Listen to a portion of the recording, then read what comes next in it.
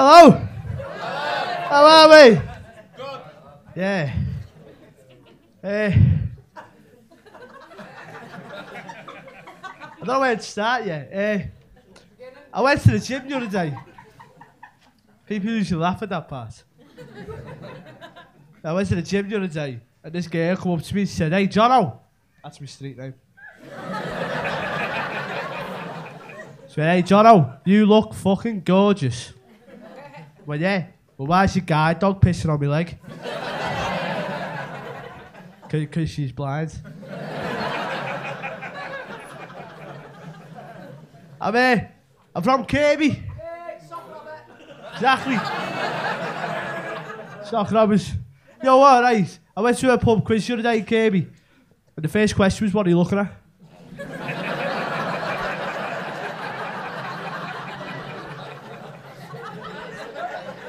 Top prize was an alibi. I'll be honest with you, my head's got a little bit. I, uh, I've just come off uh, a really bad breakup. She wasn't Eldergate to will or nothing. I do actually get a girlfriend.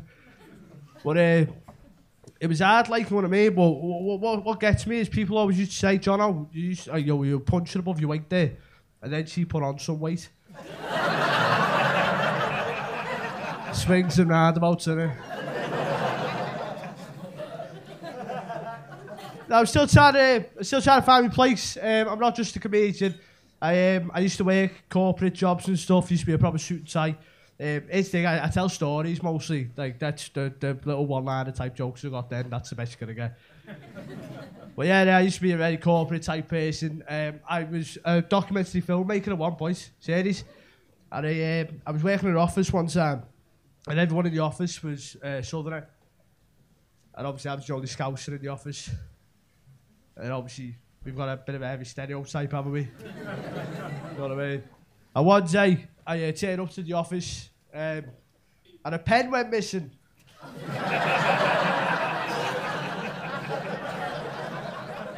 I mean, a pen. And obviously, everyone's, oh, it's the scouser. And I get called into a disciplinary, right? Get called in over a pen, you know what I mean? I take that hey, this is Scousers, this. You've just pulled me up on bare stereotype. this is bang on, not having it. Yeah, I did drop the pen.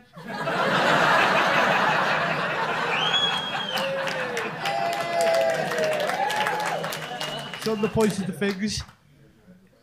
But yeah, apart from like weird little corporate jobs and stuff, I tend to do weird things. So, like, I went to Thailand two years ago. Anyone been to Thailand? I'm not a grass, like. yeah, well, I went to Thailand. Um, basically, I've, I've got a mate who lives in Thailand, and all I had to do is like pay for flights. He said, "Hey, John, oh, oh what? I'll get to it." It gets better. right. So, my mate goes, yeah, yeah, just get the flight, stay over in ours. Go, yeah, right then. And uh, basically, I've got to change the story a little bit because some people don't like the names getting mentioned.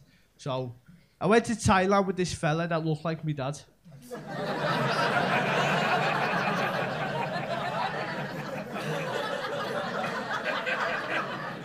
and these other fellas that look like my dad's mates. So we all go out there and we, we, we stay in my mate's house. He's an expat, he lives out there. like. And his local bar is a karaoke bar, which was also the brothel. like, how the fuck does that work? You know what I mean? Imagine going in and saying, hey, how much? And the guy goes, sing Kiss from a Rose by Seal first. then we'll pass it. How much though? I'll get to it. Get it in. So, obviously, I don't know this when I first turn up with this fella that looks like my dad. But, like, I love karaoke. So when I turn up to me mate Ken, oh, should we go to the bar? Yes, lads, it's karaoke. Fucking is, right. I go to this bar, and this guy comes out, and he goes, hey, do you want to sing? I don't know why he's Mexican, but I can't do a Thai accent. Let's just stick with Mexican. hey, do you want to sing? Yes, please. So he invites me in with this fella that looks like my dad and these other fellas that look like my dad's mates. we all go into this bar and he gets this like set list out of songs for us to sing. Now I consider myself quite artistic, so I'm taking my time, picking the right tune. Meanwhile, this fella that looks like my dad's dancing with this bird. well out of his league. I just let it happen. He's on holiday. I'm not going to judge him, so am I. And then, you know, pick my song. A girl starts dancing with me, but it was.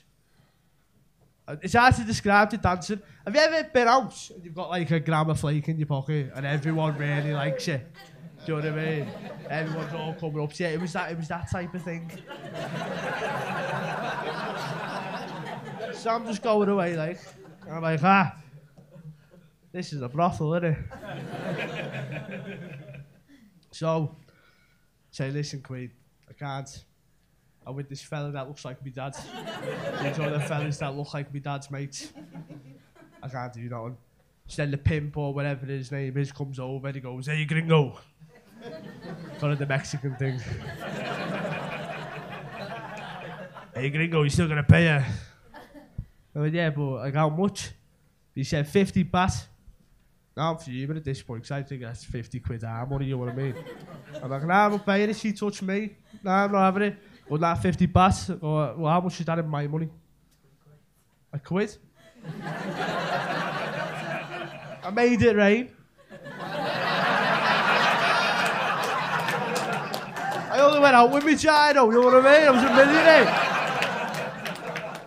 I get me to LA away at some point.